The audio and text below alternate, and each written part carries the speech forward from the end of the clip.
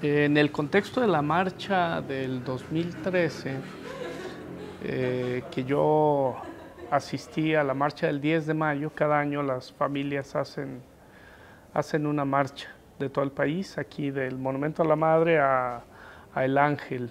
Y en el contexto de la marcha yo le iba, íbamos platicando unas familias y yo, una familia y yo, familiares, eh, de sobre el sentido y el significado de los zapatos.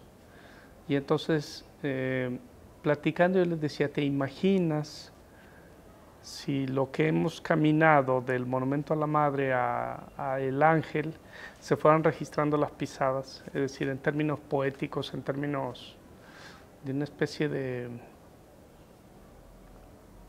Una especie como de alegoría, de una imagen poética de la idea. Entonces fue así como pensamos en, ver si era posible esto que estábamos pensando registrarlo, ¿no? Y entonces a partir de ahí eh, a dos familias les pedí unos zapatos, zapatos viejos que ya no usaran, pero que sí estuvieran gastados porque el desgaste de los zapatos decía mucho, ¿no? Decía que esta familia había estado caminando mucho buscando a sus familiares, ¿no? a su hijo, su hija.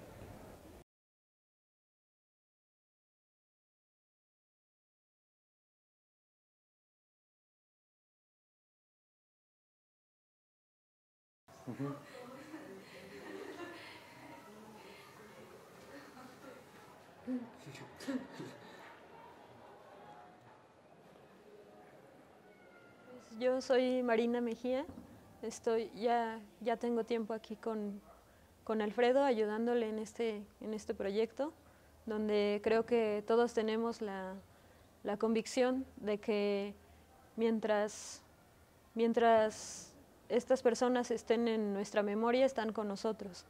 Y por eso estamos aquí, por eso yo estoy aquí. Eh, bueno, estos, estos, estas sandalias son de Fausto Gómez, que busca a su hija. Y bueno, el, mensaje es este.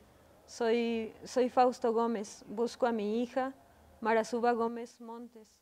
Desapareció el 29 de noviembre del 2010 en Durango, Durango. Y el mensaje es eh, Marasuba, hija. Estas son las huellas de unos pies cansados, que te siguen buscando para devolverte la libertad que te fue arrebatada. Tus padres, Yolanda y Fausto. Es el mensaje.